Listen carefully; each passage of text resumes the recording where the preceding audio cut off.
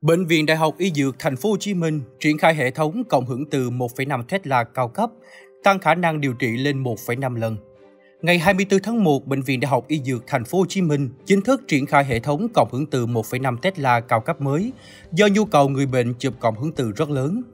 Mỗi ngày, Bệnh viện Đại học Y Dược Thành phố Hồ Chí Minh tiếp nhận trung bình từ 8.000 bệnh nhân đến khám ngoại trú và điều trị cho khoảng 900 bệnh nhân nội trú.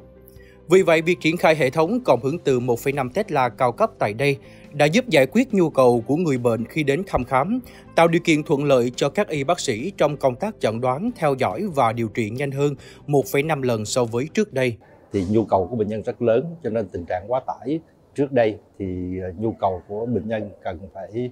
ờ, chờ đợi từ 6 cho tới 8 tuần ừ, ờ, mới chụp thì cái máy uh, cổng từ mới uh, chúng tôi được trang bị lại máy Ansia 1.5 nhưng mà được trang bị các hệ thống phần mềm rất là cao cấp uh, giúp giải quyết được cái số lượng bệnh nhân lên đến có thể đến 1,5 lần so với lại các máy thông thường trước đây. Chính vì thế mà sau một thời gian chạy ban đầu thì chúng tôi đã rút ngắn được cái số lượng chụp. Trước đây thì chỉ khoảng từ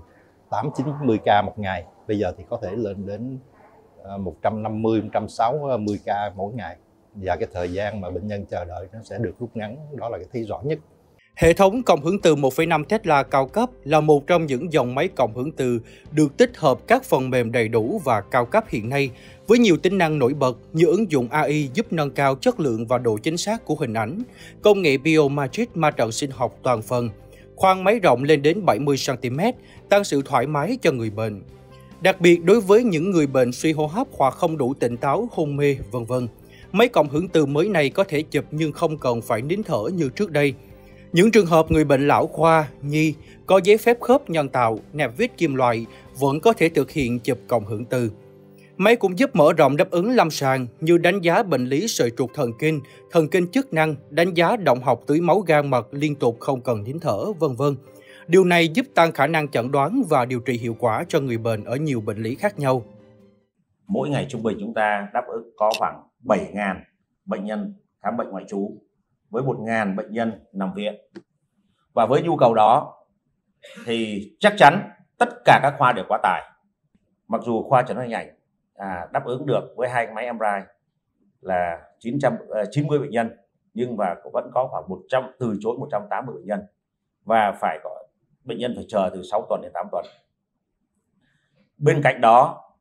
thì à, có rất nhiều kỹ thuật mới không triển khai được vì chúng ta quá tải. Thì do vậy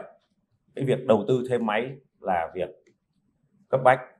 Đối với à, khoa chẩn đoán hình ảnh thì à, khi mà đã được cung cấp thêm máy như vậy thì tôi rất mong là tập thể lãnh đạo khoa phải có một cái chiến lược mới